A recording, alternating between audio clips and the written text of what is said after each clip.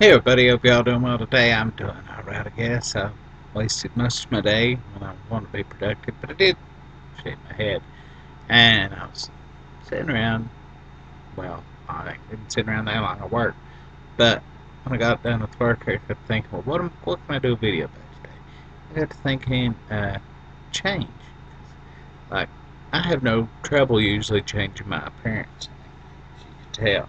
Uh, and most other changes don't bother me that bad. Some things do though. I mean, if it's something I really like, like, like say, you know, my grocery store has something that I really like, like that uh, Muller yogurt. If they just up and quit carrying it, I would probably not handle that too well.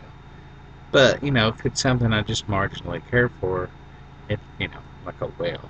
Uh, yeah. How do y'all handle change? You handle it kind of like me and just go with the flow, or do you go apeshit? Yeah, have a good day, and uh, stay tuned for the Operation Fat Ass. Have a good